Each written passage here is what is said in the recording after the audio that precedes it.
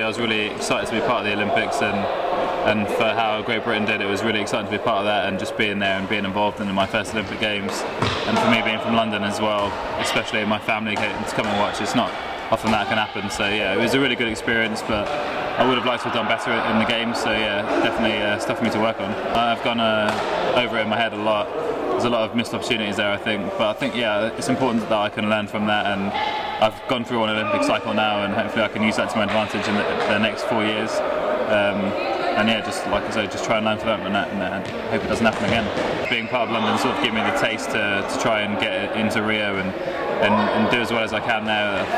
I, I feel like I haven't peaked as, as a badminton player yet, so yeah, I think Rio is a good opportunity for me to, to do that. And uh, yeah, I mean, four years is a long time in badminton, but yeah, I'm really hoping that I can I can push forward and, and get into those games It's obviously a very prestigious tournament for us to, to win the nationals. Being called national champion is uh, something that um, I was really excited about the first time, and, and, even even now after five as well. So yeah, I'm, I'm still looking to retain my title and, and, yeah, make it six in a row. I'm hoping just to sort of improve up the rankings. I've slipped a little bit. Uh, the latter part of 2012, and yeah, I'm, I'm, hoping to get my ranking back up into the into the 20s, and then try and push on into the top 10 it means I've got to beat some of the top players. But I mean, that's what that's what everyone that's what I expected myself, and, and I'm hoping that I can do that next year. So, I say, if I can use the nationals and those sorts of tournaments as a stepping stone to, to winning matches and and getting confidence in tournaments, and then I'll try and do that.